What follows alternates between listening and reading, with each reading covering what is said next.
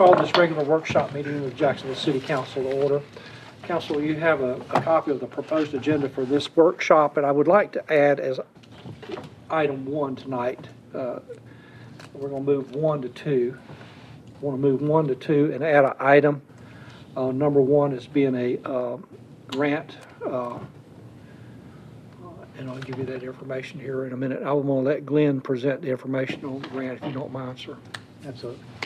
You want to go ahead and make the motion to approve? the Okay. agenda? So moved. And with the approval of the change. Approval of the agenda with the Okay. changes as Second. presented.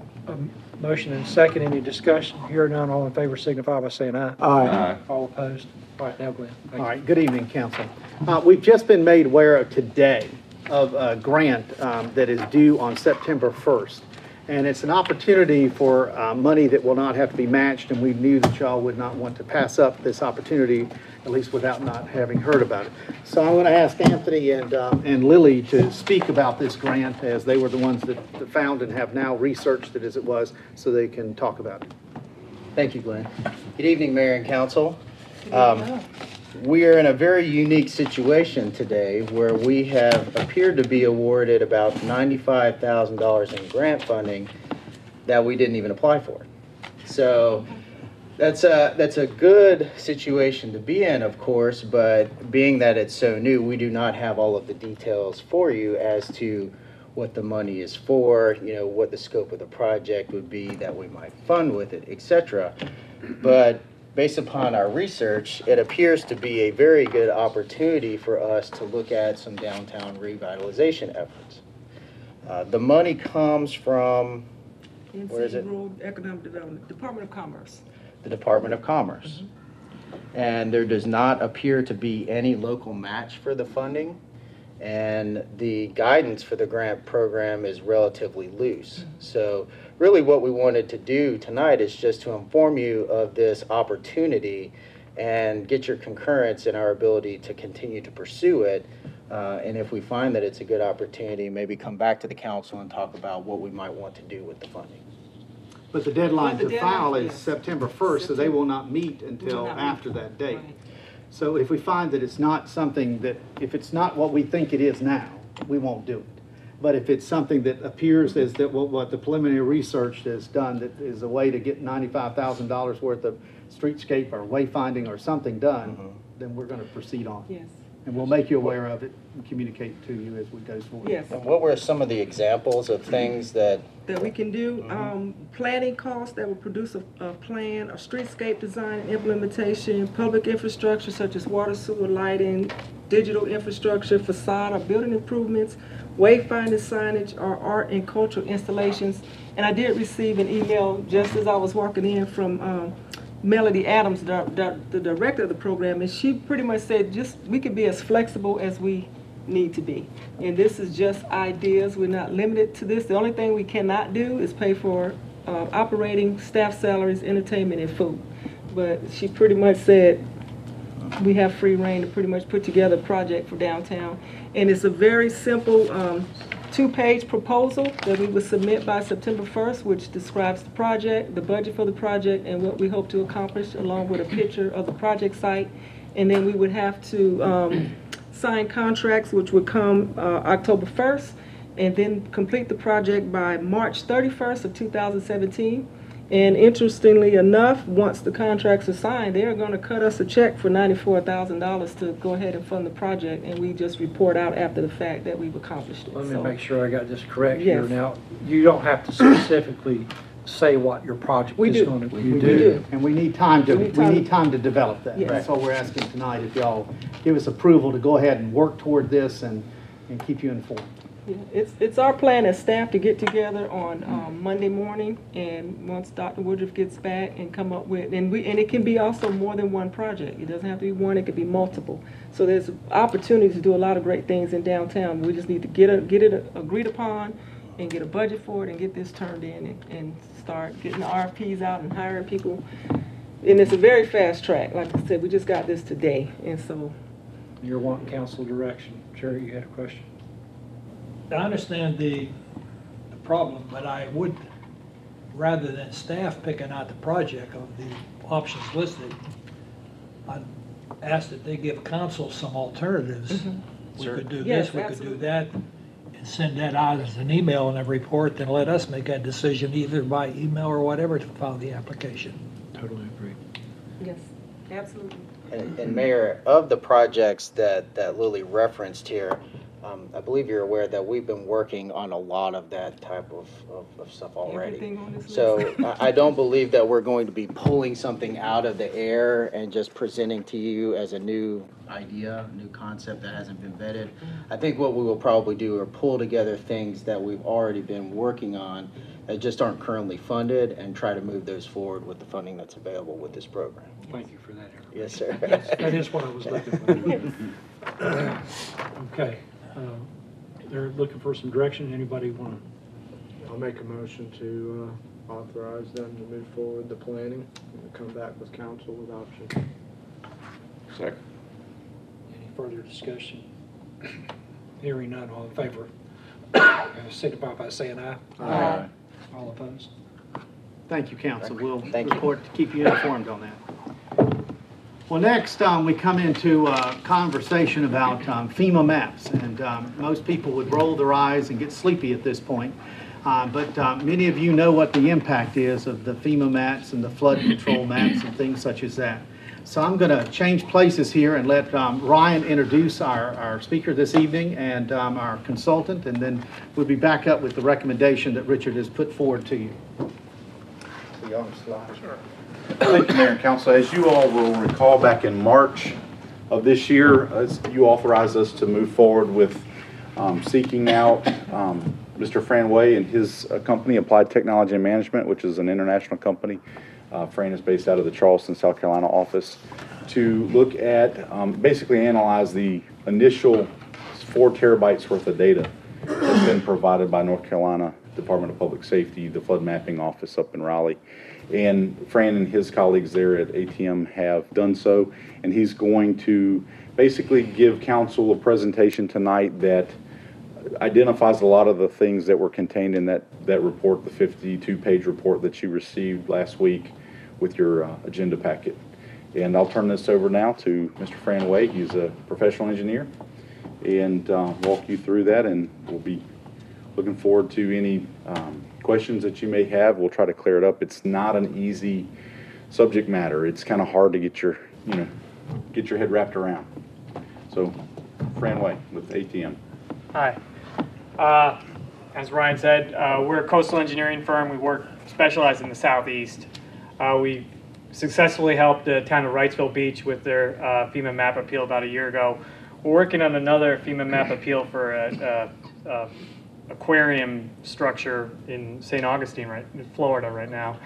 And then we do a lot of other FEMA letters and map revision, FEMA modeling, uh, FEMA support. Uh, so that, that's kind of where we are. And we do a lot of computer modeling. Uh, just to kind of, on the big picture, FEMA mapping, they remap every about 10 to 15 years. The existing Onslow County maps are from 2005. So we're kind of right in between that 10 to 15 year schedule. Uh, the major areas right here, this is the overall schematic. Uh, the V, the VE zone, we don't have to worry about that. The difference between the V zone and the A zone is a three foot wave height, significant wave height. There's no uh, V zone uh, areas in the in the city, therefore we don't really have to worry about that, and we won't. But you see down here, here's the the base flood elevation, and that's what we're going to be talking about a lot. And the the coastal AE zone is is you know really what we're going to focus on here. There is no LiMWA. That's a coastal thing. We're not even talk about that. And then obviously the X zone. And this is if if you're going and you see that 100 year storm, if you're in the X zone, you're dry. Uh, your your land is dry, uh, and your structure is dry. The A zone is where you're going to have you're going to have some wave effects, and you're going to have surge, and all that combines to the to the base flood elevation. And then the SAF, there's going to be lots of acronyms. I, I apologize in advance. The Special Flood Hazard Area. And this area is kind of, you know, this is where anywhere over here is where you need flood insurance. Uh, we'll go to the next one. the existing maps for the uh, for the city. basically, you can see all the AEs on this plot. There's uh, the AEs over here, E AE2, AE3. The AE says we're in the, the coastal AE zone where there, there are some small waves under 100 year conditions. And the three is uh, indicates a base flood elevation of three. And from here on out, whenever we're talking elevations, vertical elevations, they're all relative to the NAVD 88, which is North American Vertical Datum of 88.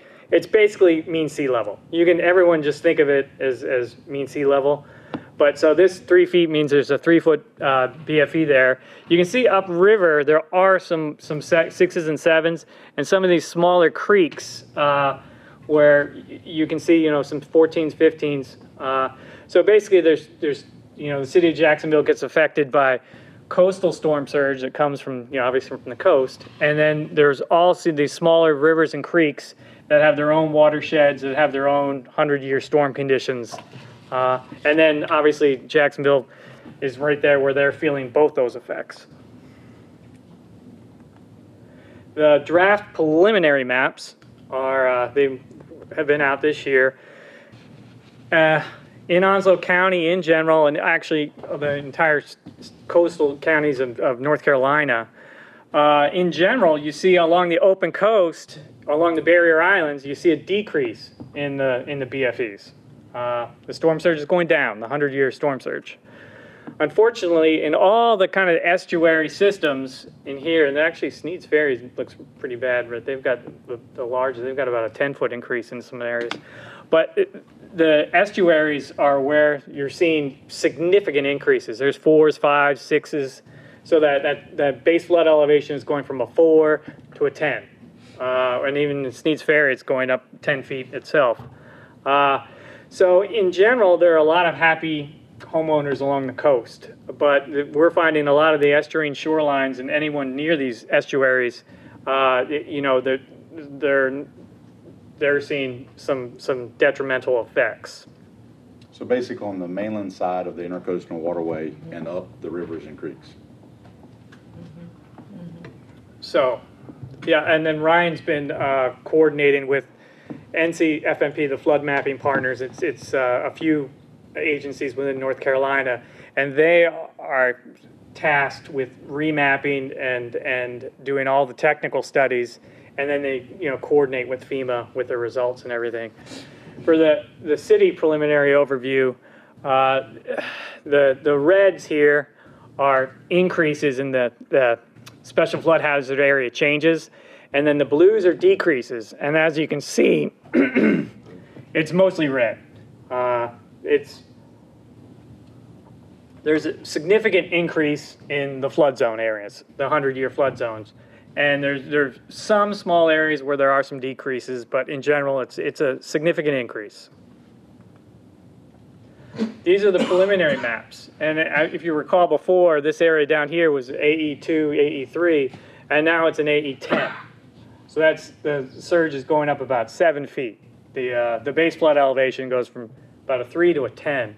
Uh, and it's, it's basically 10 in most of these areas. And then as I, I talked about before, some of the smaller creeks, which aren't, sh- aren't shown here, they're, they're, they're even higher as well. Just, just to acclimate council, you can see the bypass here on the bottom, and then basically this is downtown, just to orient you. And here's a, a, a comparison, side by side comparison of existing versus preliminary. The red means you're in an AE zone, and uh, the yellow, and when it's on the aerial, the colors can get a little messed up, but the yellow is the 500 year flood zone, which is kind of a, it's called a shaded X zone. That's really not part of the uh, special flood hazard area, so we're not really going to talk about that 500. They, they map it, but they don't use it, the 500 year. So we're just really concerned about the red. And you can see here this, this entire area, uh, Court Street, uh, Wardola, uh, this, this entire area is, is uh, an AE10 now, when it was basically an X zone. It- well, the existing wise, it's an X zone. And with the, you know, some spots right along the shoreline that were, you know, that, that were the, the AE zones. Uh, Can you, just for our viewers, Yes. can you explain what the AE10 means? So AE means there, in terms of, you're gonna have uh, storm surge, and then you'll have wave heights less than three feet, to, that all contribute to that base flood elevation of 10. Uh, So the AE, uh, there's the VE, which is the, the V zones, and those are the ones you usually see along the coast. And those have wave heights, 100-year wave heights greater than three feet, and some element of storm surge.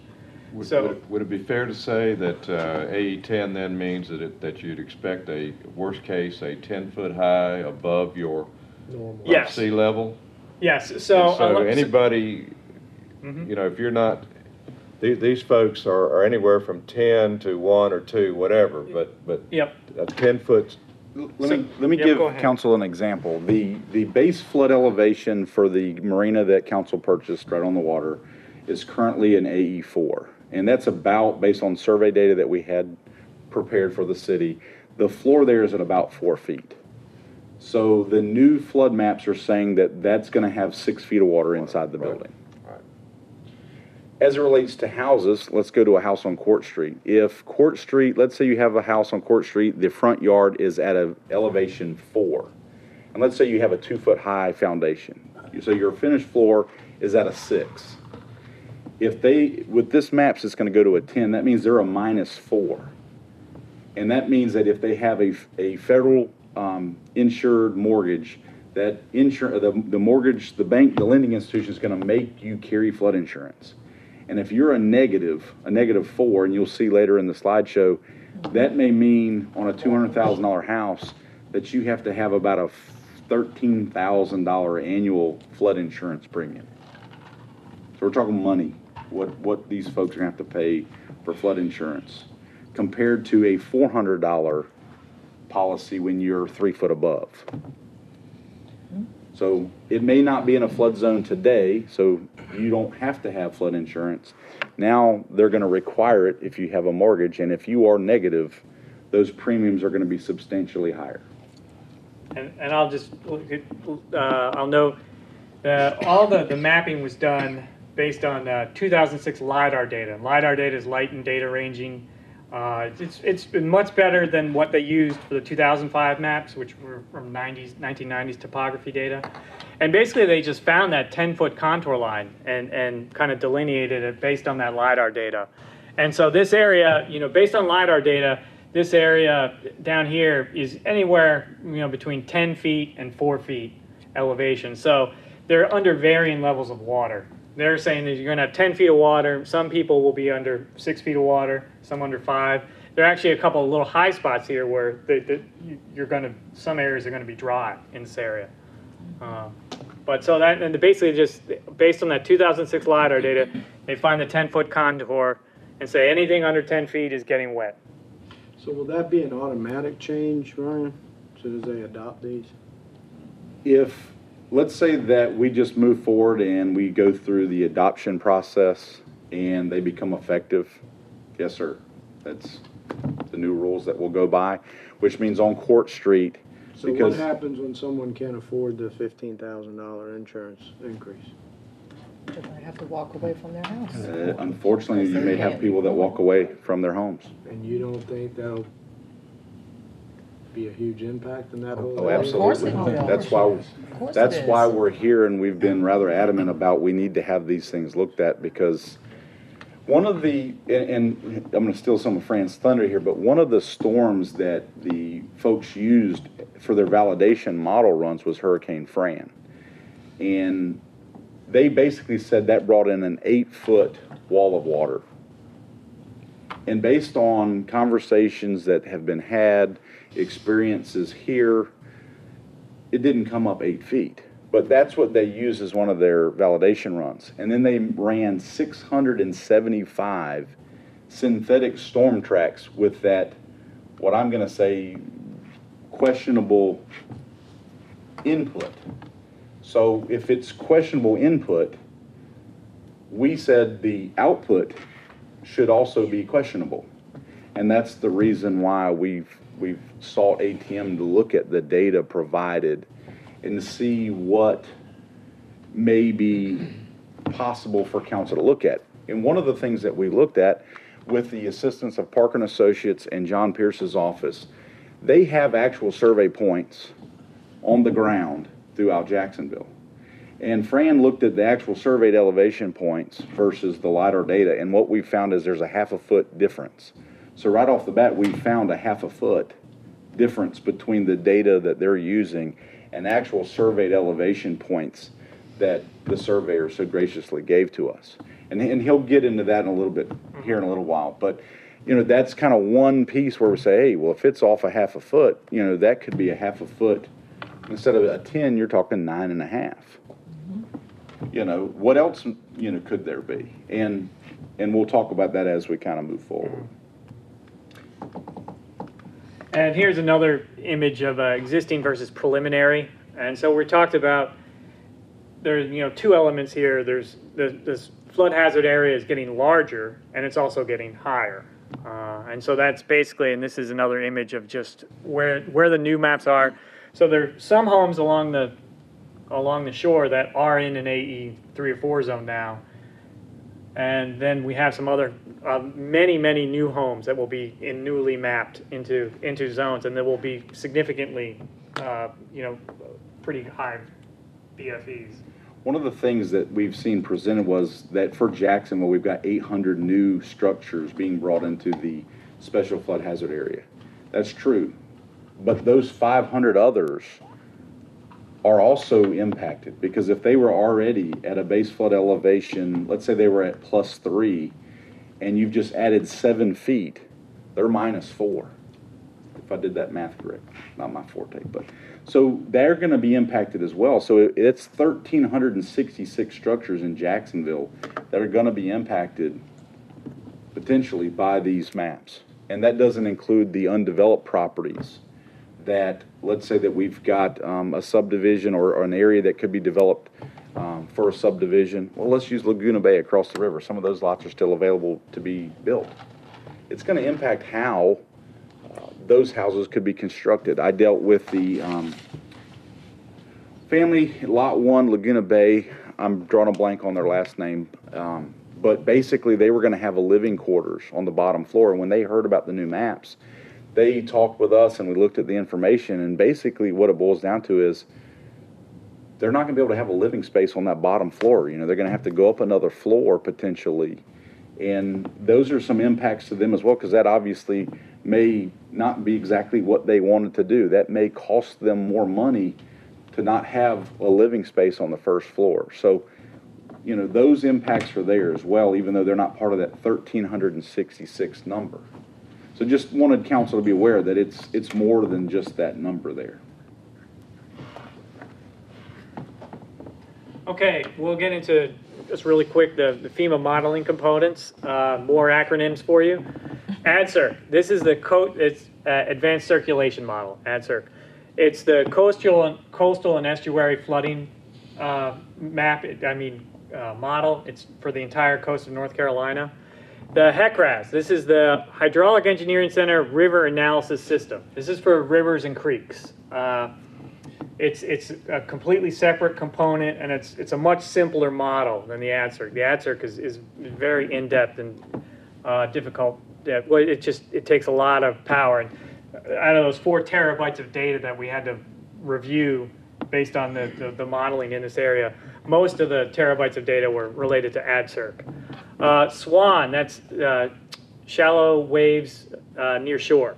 And that's the a wave model, and that's for the coastal coastal and estuarine area, and that's not just for wave heights, but there's also like a, uh wave setup, which is another component that can increase BFEs, and then there's the WHAFIS, that's the Wave Hazard Analysis Flood Insurance Study, something like that. It's the that's the V zone A zone model that's used along the coast. And again, it's not uh, relevant for Jacksonville because we have no, there are no V zones in this area. So we, we're not going to get, we're really going to concentrate on, on these two models because these, these are the models that are responsible for the, the, the majority of the BFEs in this area. Here's,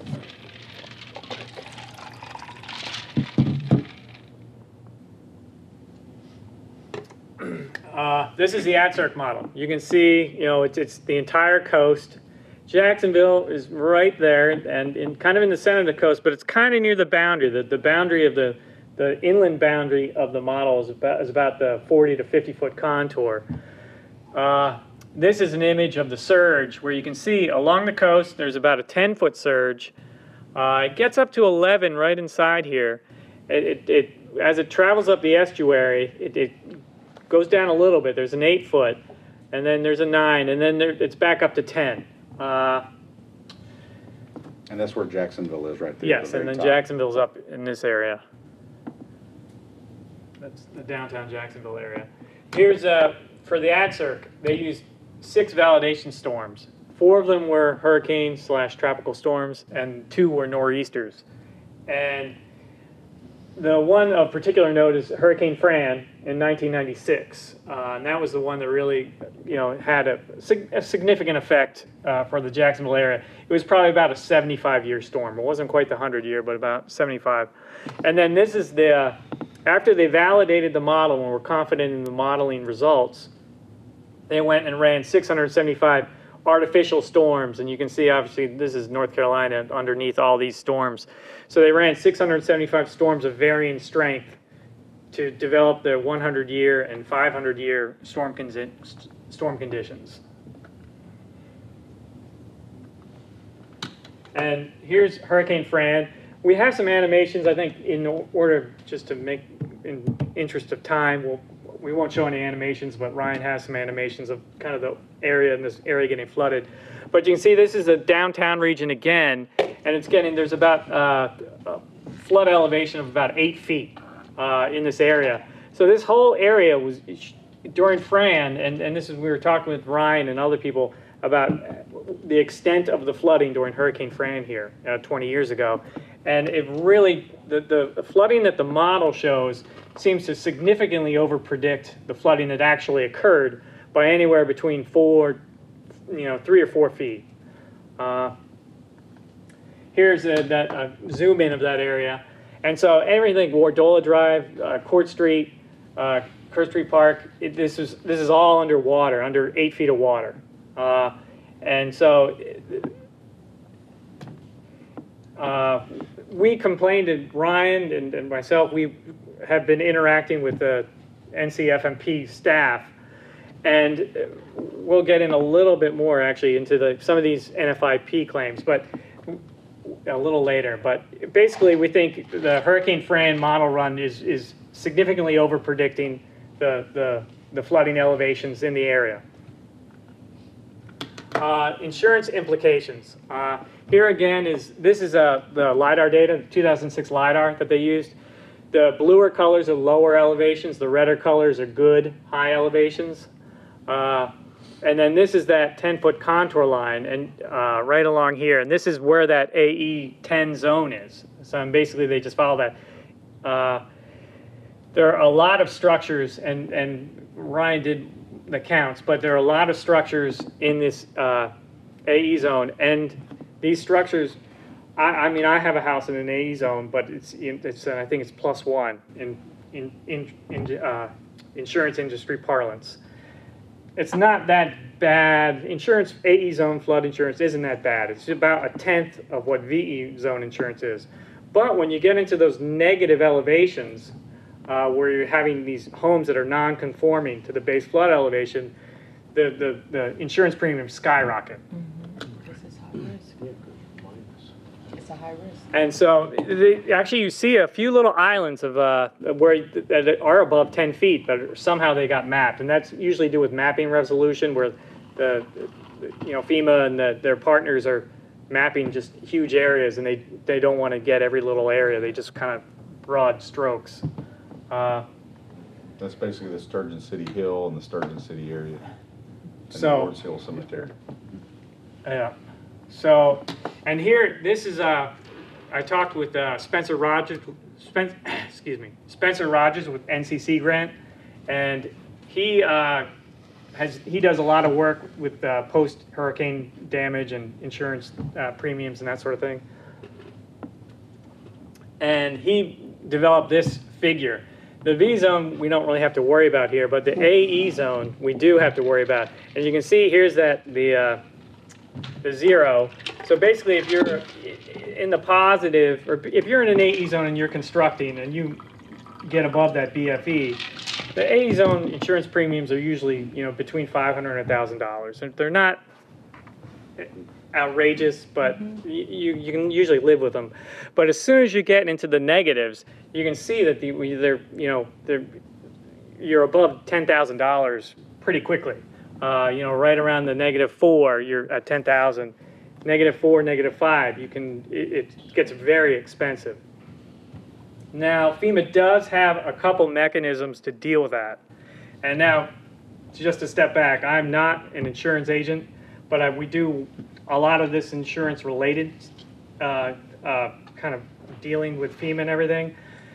Different insurance agents can interpret these rules differently, and we've encountered a lot of insurance agents where they have widely varying knowledge on, on flood zones and, and policies and grandfathering and preferred risk policies. But the preferred risk policies, these are policies that they say, okay, you're newly mapped into an uh, AE zone. We're going to give you a break. You're on this on your policy because you know. But these policies can increase 18% a year until they're the actual rate that you should be. So they will give you a break there at the beginning. But if you're a negative five, every year you can count on an 18% increase in that premium until it reaches that actual premium cost. Now there's grandfathering. Now if you're in an AE3 zone right now along the along the estuary, you can get grandfathered and keep that AE3 policy and pay that AE3 rate. And then you, if you sell your house, you can also transfer that policy. That's a transferable policy. So if you are an AE3 or AE4, you, and there are some caveats to that. If you have multiple flood claim losses, uh, there's some other ones where they'll, they'll revoke your grandfathering. Uh, but uh, in general, you, you're, you're not bad. I have also seen some areas where if you can buy, if you're in an X zone now, they usually steer you towards the preferred risk policies. But I have read some uh, FEMA material that says if you're in an X zone, you can right now go buy X zone flood insurance, and that can also be grandfathered. So that is another. If uh, we would, you know, highly recommend that, or even look into that even more, uh, because obviously if you can get grandfathered as an X zone and kind of avoid this. Uh, All the premiums based on $250,000 value? Yes, for this chart, this particular chart. So you're saying somebody that's sitting in downtown in an X zone Yes. now could see this map, run out, buy a policy and be locked in? Yes, that, from what I've read, yes. Oh, okay. Uh, and again, you, you might go to five different insurance agents and they might, you might get five different stories. But from what I've read, I, I, I- believe that is what, what the case is.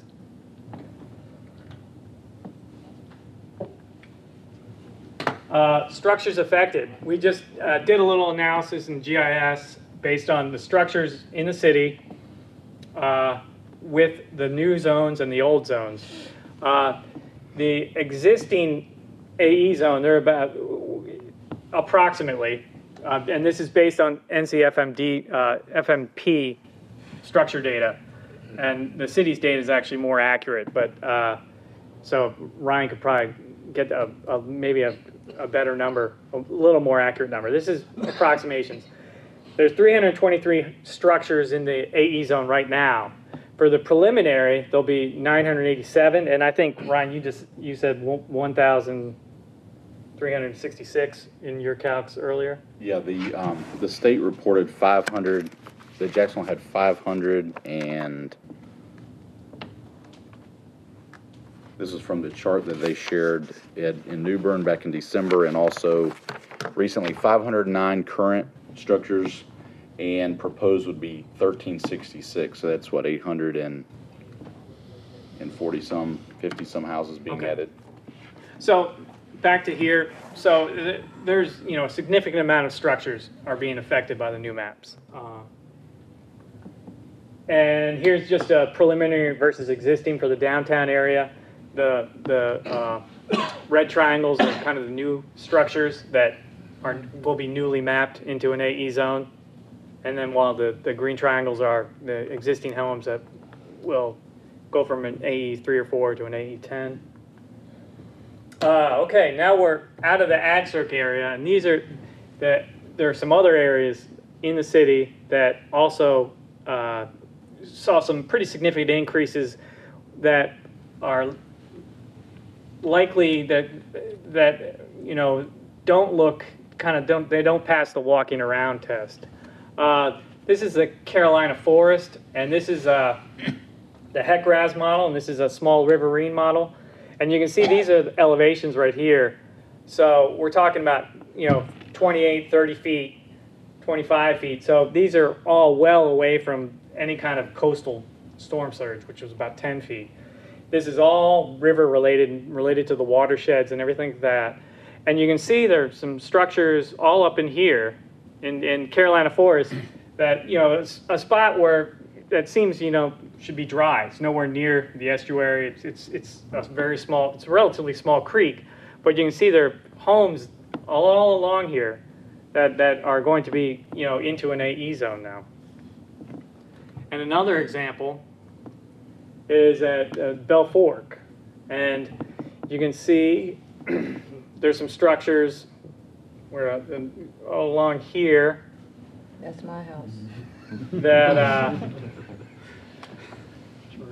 that, that, are, that will be affected. And you can see that the elevations here, about 33 feet or so, these are well away from kind of the estuary, the storm surge flood, flooding. This is all related to uh, riverine and watershed flooding. Uh, here's another one.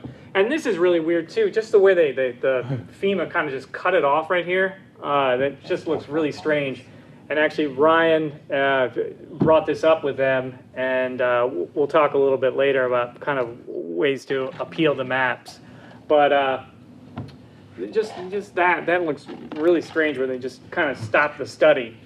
And uh, but you can see all these structures here, up in here, and just what, what we saw, all those uh, red triangles that are that are newly mapped into uh, into the AE zone.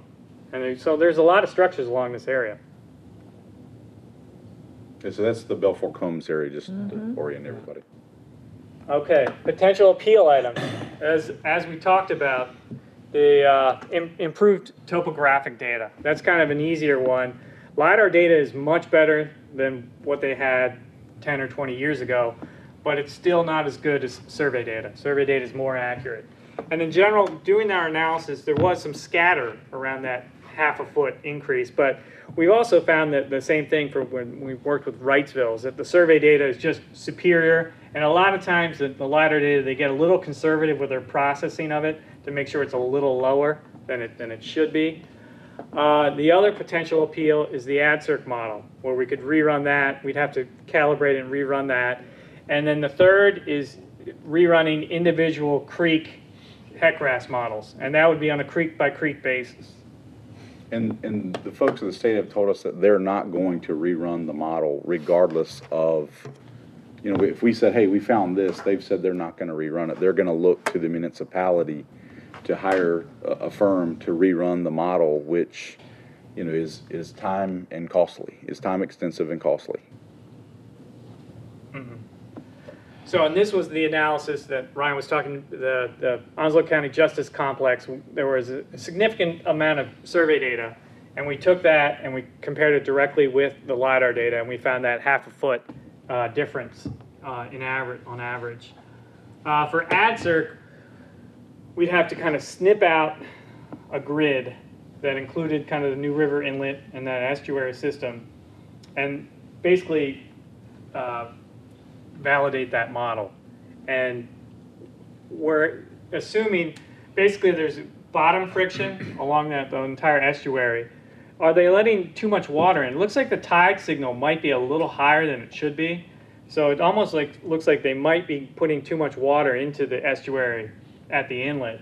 And even the boundary effect of the river, where the bound the river, the, the model boundary is kind of just a you know about five miles upriver of Jacksonville, where there could be some some some additional piling up of water around Jacksonville. There there are different ways to do it, uh, but and we could also the the bathymetry and the topography uh, we've already covered the topography, but bathymetry, the charts they used and things are, you know, it can be relatively old, and they probably, a lot of times for the AdCirc, they're concentrating on, along the coast. Uh, And you can even see that with this uh, validation. Besides kind of the buoys and things where they're validating along the coast, they had uh, HWN, HWMs, which are high water marks. And you can see up here, there's, there are no high water marks up here uh, near Jacksonville. Uh, So they really didn't, and even, even along kind of, they really concentrated along the coast in the barrier islands and just inside the barrier islands.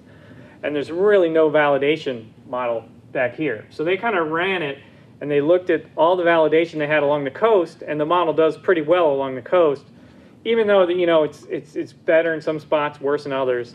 But you know that's that's you know it, the Jacksonville area didn't get much attention during this validation, and obviously all those 675 model runs are based on the validation. Didn't you state in uh, some conversations that you and I had that there was, this was off in Wilmington, or was that another? Yes, no, it was off in Wilmington. It did a pretty good job in up, up here in the Morehead area, but yeah, it was it was also off by a couple feet in, in Wilmington and, and up the uh, Cape Fear River. Uh, and here's another example of of during Hurricane Fran at the, the USO building along Riverview. Uh, this one image, I, this is an image from uh, about a, it's the not. next day. Yes, right. You can. It's nice out, nice blue skies, but that kind of follows the four foot contour. Okay, and so it looks like maybe the high water mark, and according to their model, that this whole building should have, would have been underwater. Would have been, you know, this is the, the flood instead of here, it was up there. Uh, and that's the same thing. So we, we brought this up with NF, the NF, uh, NCFMP, and they pulled uh, National Flood Insurance uh, claims from Hurricane Fran. And so all these red triangles now are, are, are flood insurance claims following Fran. And so they said, well, look, we've got a 15.7 and a 10.8. You know, there was a lot of water during Fran in this area. But as you can see, it was really, it was mostly right along the, the, the, the, the shoreline. Uh, and then there were a few little areas up this creek. But uh, 33 out of the 35 points that they pulled those claims, they were uh, about five feet or less. So that kind of says that okay, maybe the, the you know it wasn't eight feet, it was five feet. When the the, the and uh, then there are these there's a couple outliers, but when talking with Ryan, these they might have had basements. Uh, no, Both, both of those did have basements. Okay, they have basements, so, you know, that uh, grade elevation of 15.7, 10.8 doesn't matter if they have a basement. So it really looks like, according to our, the, the claims that when we look at them, it looks like about a five-foot surge when, when the model's saying there's an eight. And see, this is again where the, the Hurricane Fran, this is the model output from AdCirc, saying that this entire area got wet. And you can see those NFIP claims are sporadically in that area, but, you know, uh, it- I think, we believe there would have been a lot more claims if, you know, if- if the model had really, is, is accurately showing the Hurricane Fran results. So summary. Uh, Let let me ask Yep, a question on that. So even if they didn't have flood insurance, they would still track that there was a claim here for flooding? Is that how that works? Do what, FEMA? Like, uh, the, you're talking about like these homes up here? Right. They were very uh, private with those NFIP claims. They wouldn't let us see them, as you, as you recall. Yeah, uh, that is uh, an interesting uh, idea. I, yeah, I'm not sure because obviously, yeah, those homes are not in the, the flood zone, and you know they always say that what 20% of the flood insurance claims are outside of flood zones. So I- I'm not sure how that how that works. I guess we need to kind of confirm whether, you would think that all of these houses would have had flood insurance claims mm-hmm. if, if there was that much water. And oh. from everybody that I've spoken to and, and my own recollection, the water was not that high. Mm-hmm. I mean, it's, It wasn't that. High. Mm-hmm. Right. And, and I believe these, some of these claims, especially those interior claims, are FEMA claims, but these people did not have private flood insurance. But when it's declared a major uh, Mhm. disaster, then FEMA comes in, sets up their office, and you deal, that's where they're getting some of their points on the map, I would believe, not from people having private flood insurance up at that end of Court Street, Okay. et cetera. Right, Mr. King, is there any recourse for um, homeowners that is, if, if they do not wish to purchase um, flood insurance, is there a recourse that they can take to determine whether or not if their house is actually in a floodplain zone, you know, such as um, hiring, if they had the funds to do it, to hire a surveyor to come in and to survey their land to determine the elevation and based upon those findings, determine whether or not if they need to purchase flood insurance. Basically, the folks along Court Street, they will be notified if they have that federally insured mortgage that you are now going to be in a flood zone, you have to obtain insurance. But That that's only if that person has a mortgage. What if that person house is outright paid for and they don't have a mortgage? They don't have to get insurance then, that's their personal preference, as I understand it. Mm-hmm. So, if that person is notified, the first thing that they will need to do is they would need to basically seek out a surveyor to perform what's called an elevation certificate. And what that's going to do is that's going to establish their finished floor elevation of their house and where the ground is. And that's gonna let them know, are they above the base flood or below? And based on that, they would turn that in to their mortgage company if they're above, and the mortgage company should basically say, okay, the house is out of the flood zone, you don't have to have flood insurance. But if it's below, much it cost? but I, I, Approximately, hmm. surveying. well, so, so don't put them on, the spot. I've, I've been told that an elevation a range. certificate will range between three and four hundred dollars and eight or nine hundred dollars. So that's So- still a fi- a financial, Right. economic burden to the homeowners. Right, so once this is done, let's say that, you know, five or six or seven hundred people, that's, they're gonna be their first step is to seek an elevation certificate to see where their house really sits as relates to the base flood elevation zones. And then from that, they're gonna say, okay, well, my house is now a negative two. From that, they will then seek flood insurance based on that minus two, and that may cost them five thousand dollars a year. There, there is another form, it's called the letter of map, flood map determination form. Have you, have you, there, Yes. it's, it's, a- it's a little bit simpler, but if you are in an AE ten zone, I think you, you will be required, but sometimes you're right along the edge, or you're in, in, along a creek or something. Sometimes you can just get a, a simpler one, which is usually, sometimes a, a town or. Well, let me give you an example. In fact, he, he called me this afternoon. I returned his call, didn't get up with him. But uh, a gentleman that lives on Jasmine Lane called me about three or four weeks ago. He was trying to refi, uh, Aragona Village off of White Oak, NRETJ. He was trying to refinance his home. And the mortgage, the, the lender basically seeks a firm to let them know, is it or isn't it in a flood zone? Well, part of the lot that backs up to the creek is in an AE zone. So they basically told the individual, we're not gonna give you a refi, you need to basically go get flood insurance and an elevation certificate. Now, that example that, um, that friend just gave you, it, which I steered him in that direction, he should be able to go to that lender and say, but where my home sits, it's actually outside of that special flood hazard area.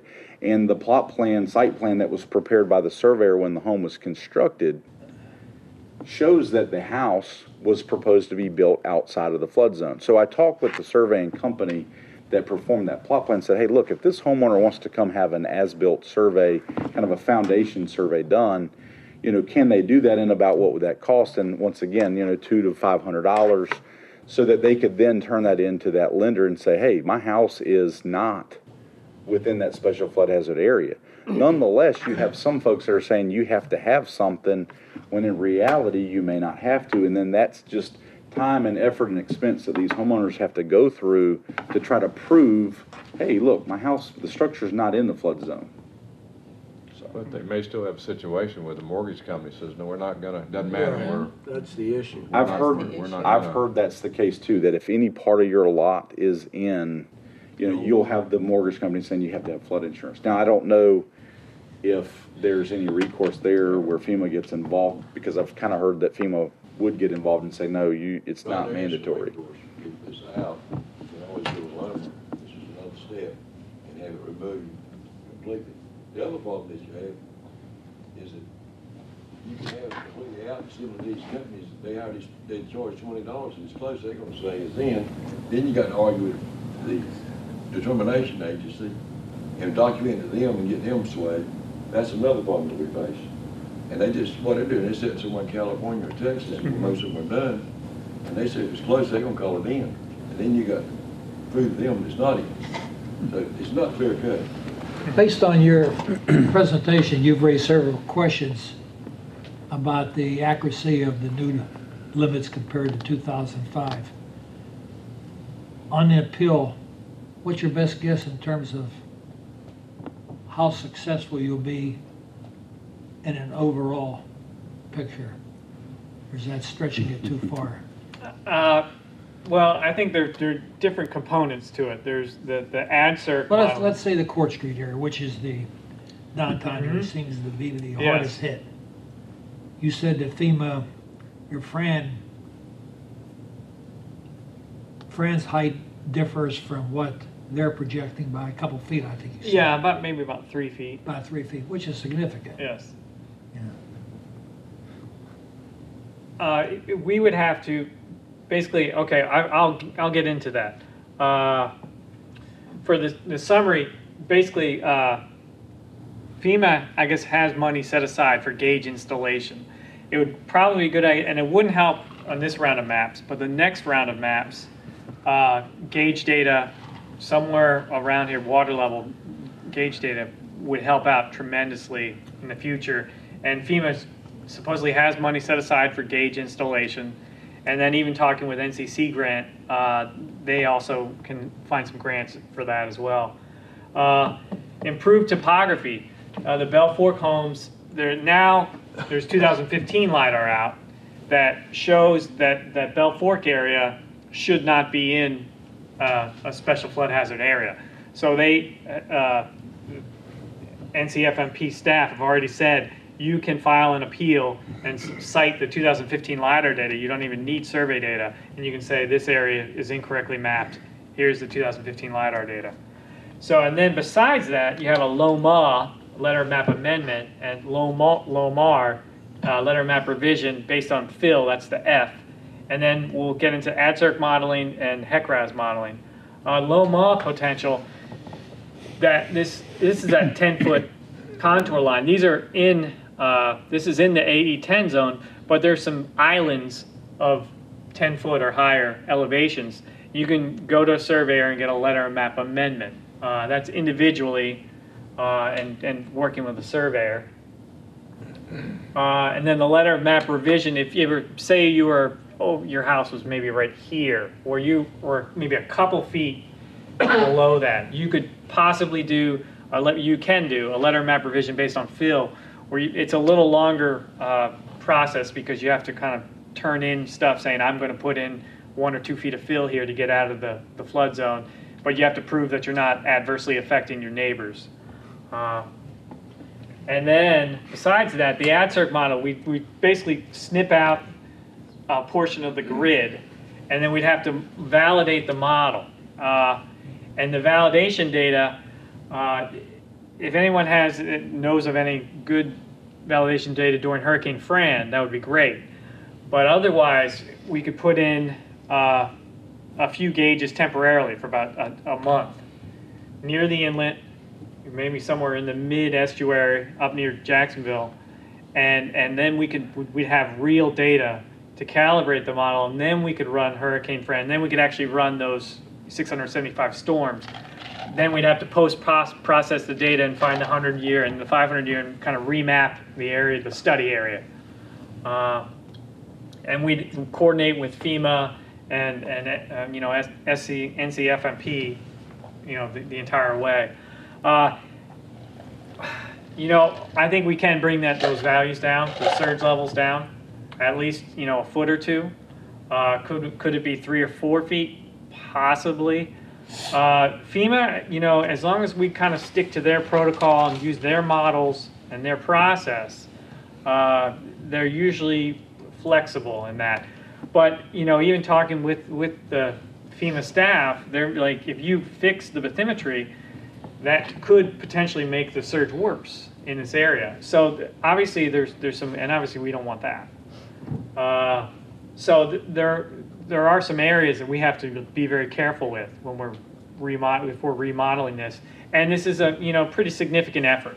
You know, 675 models, you know, running that. This is, uh, this whole thing was done by RENCI, which is a Renaissance Computing Institute, and it's based, it's Duke, UNC, and NC State, and they've got a supercomputer that they run this on. Um, and obviously, I think we could coordinate with them, we- we're, you know, we know a few of those professors who work there, but, you know, we're tasked with rerunning their models. Uh, The HECRAS modeling is a little simpler, uh, because those, those little creek models are very simple. They're based on like 1980s Fortran programs. Uh, They're a little bit easier, and we can, you know, re- resubmit the LiDAR for the, for the Bell Fork area, which is very easy. You don't even have to rerun the, the HECRAS model. But for the other models, we'd have to just, you know, check them, check their topography, and they just, uh, and, and just any creeks that, that we see that just, the results don't look reasonable, we could, you know, go to, go that route. And, and that's pretty much, that's the, my last slide. And then, uh, I guess Ryan and Glenn are going to talk a little bit more. I've got a question. then. Sure, You said you were successful appealing the Wrightsville Beach. yes. Define success. How about, what you get? We you get for remapped, we remapped about, uh, I think it was almost about six hundred acres that was supposed to be V zone, and we remapped as, as, as A zone. So, um, and that's kind of what they wanted to do. Actually, because along the, the, the beach, it was actually very favorable, as we said, the, the storm surge was going down. But then the waves, as soon as they got over, the, they got into Harbor Island, which is the estuarine area, again, the estuarine area, there was, there were some VE zones that just didn't make any sense. And so then we had to run that, the WHAFIS wave model and kind of prove and work, we worked with FEMA and they're usually pretty flexible on this. And, and we worked with them to, to remap the, those V zones as A zones. So you get like half of it out or? uh, We got most of it out. Most of And it? see, but that is a little simpler than the AdCirc modeling. Uh, The the modeling is the most complex component, modeling component of the, all that FEMA suite of models. And unfortunately, that is the model that is responsible for the BFEs in Jacksonville. So you said earlier. We didn't that- touch the AdCirc model for Wrightsville. We so- just, Yeah, you said earlier that we're looking at a BFE increase of six to seven feet. yes. So in our case, the success would be three or four feet. Yes, it, it That would would be- still be an increase. Right, right. It's like currently, the downtown area, most of it is not in a flood zone, but we know that during certain storms, there may be a foot or two of water in the street. So should it be in a flood zone? It probably should be. I think the question is, should it be a BFE four or five, or should it be a BFE ten? I think that's really the question that it comes down to. I'll also let council know that what we're struggling with here is the same thing that Morehead City and Carteret County and all the beach communities are facing right now. You know, there's multiple people that are looking into the same situation that we are, or whether to challenge or appeal the maps, hire consultants. I know that there's a couple of the small beach towns, Pine Knoll Shores, and those folks that they were kind of collectively trying to come up and looking at hiring somebody because they had the same concerns. I'm not sure how many people are actually going through it, but, you know, this is something that we're all struggling with. Well, If there's no more immediate questions, let us just go to the punchline so that you all can make a decision and give guidance to staff as it was. Clearly, he talked about some areas that you would not have expected these flood maps to have such significant impact on. And that downtown area, clearly, if there's people down there that are gonna be significantly affected by this, that are already residents of this area and can have that impact. As he indicated on the insurance, if you're in that area where you actually have a negative in, um, elevation, perceived by the fact that it's going to be higher, that those potential of looking at a, a premium that's in the $10,000 range just means, as someone said, walk away or whatever happens there. This is something that um, your citizens certainly, um, you know, are going to feel an effect from. And as we mentioned, here's that Bell Fork area, significant in there, and we notice now that we have some improved data that is available in there. And so um, Richard is making the recommendation to you that you authorize the office to identify an additional scope of work, negotiate a fee, and then have you consider whether to go forward when you find the information and read that scope of work. And that's the recommendation that we put forth as your management team to you.